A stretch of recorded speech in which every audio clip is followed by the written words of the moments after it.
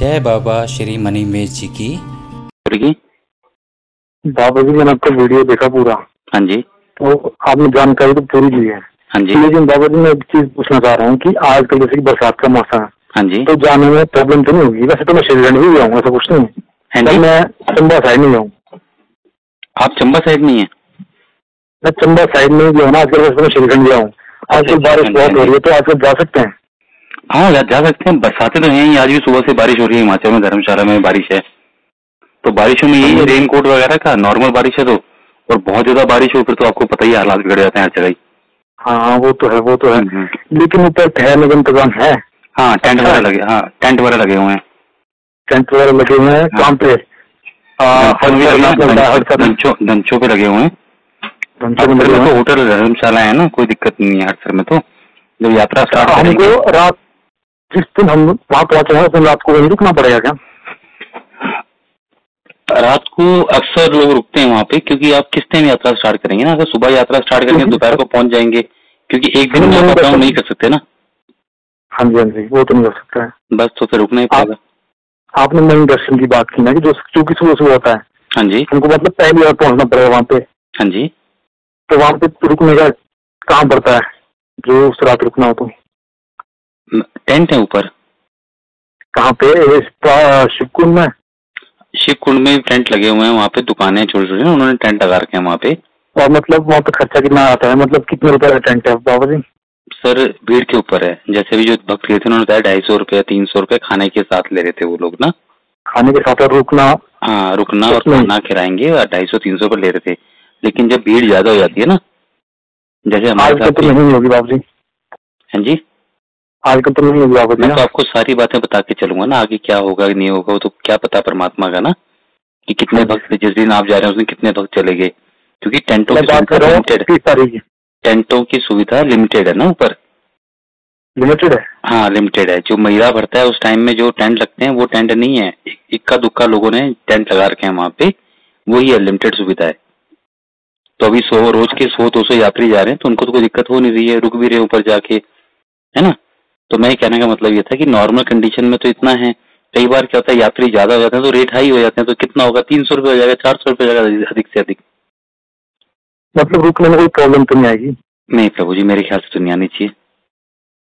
देखो ये परेशानियाँ प्रॉब्लम आना है सब भोले बाबा जी के हाथ में होता है ना।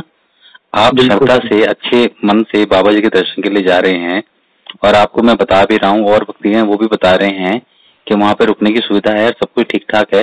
अगर मन में आप ऐसा विचार रखेंगे दुविधा रखेंगे कि कहीं मुझे परेशानी होगी कहीं ये हो गया वो हो गया तो नेचुरल सी बात है जैसा हम सोचते हैं वैसा ही होने लग- पड़ता है। बिल्कुल ठीक बात है बाबा जी आपकी लेकिन मैं इसलिए पूछ रहा हूँ कुछ लोग हैं उनके पेरेंट्स उनको जाने नहीं दे रहे आजकल मानसून का टाइम है तो। हाँ इसलिए मैं आपको दो जगह पूछ रहा हूँ वहाँ पे अच्छे से होता है जी पेरेंट्स अपनी जगह ठीक है उनके आप बच्चे हो तो वो तो मना ही करेंगे ना कि बरसात में हाँ मत जाओ। वो अपनी जगह ठीक है। अब बच्चों का अपने बाबा जी से कितना प्रेम है वो बच्चों को देखना है कि जी हमें माता पिता जी हमें बाबा जी पे पूरा भरोसा है हमें यात्रा पे जाने तो कुछ नहीं होगा। अगर आपका भरोसा वहाँ भी नहीं है और आप पेरेंट की बात भी नहीं मान रहे तो परेशानी तो पक्का ही आएगी। देखो सर मैं आपको हाँ, बताता हूँ। टाइम मैं यात्रा पे गया था ना मेरे पेरेंट्स ने हाँ मना किया था पर मैंने उनको यही कहा था कि मैं धरती पे आया हूँ तो भोले बाबा जी के आशीर्वाद से आया हूँ ना तो आप आप भरोसा रखिए मैं वापिस आऊँगा तो उनके आशीर्वाद से वापिस आऊँगा और होना हो तो यहाँ भी कुछ ना कुछ ज़रूर हो जाएगा। तो हम तो अंधाविश्वास करके चले जाते हैं चाहे वो श्रीखंड महादेव हो किन्ने कलाची हो चाहे मणि मेच हो कहीं भी भी। बिल्कुल इतना इतना अटूट विश्वास रखते हैं कि अगर वहाँ जाके सोने को भी जगह मिले टेंट भी ना मिले तो उसको भी बाबा जी की कृपा मानते हैं हम कि बाबा जी ने हमें कुछ सिखाना होगा तो बाबा जी ने आज बाहर सुला दिया। या बैठ के रात काटनी पड़ेगी। उसमें हम परेशान नहीं होते हैं। क्योंकि परम पिता परमात्मा ने कब आपको क्या सिखाना है और कहाँ क्या क्या देना है ये आप खुद नहीं जानते। तो उन पे भरोसा रख के ही आदमी को चलना चाहिए। दुविधा में चलने से आदमी काफ़ी परेशानियों का सामना करना पड़ता है मेरा जो पर्सनल एक्सपीरियंस आ रहा उन्नीस साल का। बाबा जी आप हिमाचल से या बाहर से हो? अब हिमाचल से जन्म हिमाचल में हुआ है लेकिन रहा हमेशा बाहर ही हूँ। अब दोबारा हिमाचल लौट के आ गया हूँ एक दो महीने पहले। इस वक्त आप कहाँ पे बाबा जी? अभी हिमाचल में धर्मशाला में हूँ। धर्मशाला में हूँ हाँ जी। धर्मशाला ठीक है बाबा जी ठीक है प्रभु जी अगर आपको जाना है अंदर से आवाज़ आ रही है बाबा जी का बुलावा आ रहा है तो बिल्कुल सच्चे मन से जयकारा लगा के निकल जाओ घर से। बाकी भोले बाबा जी पे छोड़ दो। आप जब आपको उन्होंने बुलावा डाला होगा ना भोले बाबा जी ने बुलाया होगा आपको तो आपसे ज़्यादा ज़िम्मेदारी भोले बाबा जी की मेरे बच्चे आ रहे हैं वो कहाँ रोकेंगे क्या खाएँगे क्या होगा वो ज़िम्मेदारी उनकी है। अगर नहीं बुलावा बुलाया होगा ना आपको तो आप लाख कोशिश करो आप घर से निकल नहीं पाओगे। कभी कोई दुविधा आ जाएगी कभी कोई दुविधा आ जाएगी ठीक है? ठीक है बाबा जी। हाँ जी तो भोले बाबा जी का नाम लेके निकल जाओ अगर मन कह रहा है तो बाबा जी। हम्म। हाँ जी हाँ जी। बाबा जी ट्रैक कितना मुश्किल तो होगा ना सीज़न के बराबर? नहीं श्रीखंड जितना मुश्किल नहीं है ट्रैक श्रीखंड तो काफ़ी मुश्किल ट्रैक है। श्रीखंड तो जी का ट्रैक इतना मुश्किल नहीं है। नहीं नहीं। अमरनाथ जी गए मैं मैं नागपुर में श्रीखंड गया अब मैं जाने सोच रहा हूँ। हाँ श्रीखंड जी का ट्रैक तो काफ़ी मुश्किल है प्रभु जी। मैंने भी श्रीखंड यात्रा की निर्मल से मैं निर्मल से बोल रहा हूँ। आप निर्मल से ही? हैं हाँ जी हाँ जी। अच्छा अच्छा वहाँ से यात्रा स्टार्ट होती है ना नीचे से? हाँ जी हाँ जी। जाऊँ वहाँ- हाँ जाऊँ से। जाऊँ का बंदा भी है मेरा जिसके हम बात करते रहते हैं। तो श्रीखंड का जी का ट्रैक तो काफ़ी मुश्किल है मेरे हिसाब से। मणिमेर जी का इतना तो मुश्किल है। अगर आपने श्रीखंड यात्रा की है ना तो मणिमेर जी हम्म। की यात्रा आपके लिए ज़्यादा मुश्किल नहीं होगी। ट्रैक की बात करें है ना? ट्रैक की बात करें तो। हाँ बाकी इच्छा तो बोले बाबा जी की। इस बार तो नहीं हुई श्रीखंड जी की यात्रा? इस बार नहीं हुई है। हो तो नहीं हो। रही लेकिन बंदे तो जा रहे हैं। जा रहे हैं अभी? बंदे तो जा रहे हैं लेकिन कुछ भी आई तो बंदे हाँ। है बंद भी हो गया और बता रहे हैं बर्फ़ बहुत है मेरा भी दोस्त करके ही। बर्फ़ बहुत है इस बार इस बार हिमाचल का बर्फ़ बिलासपुर का अच्छा अच्छा।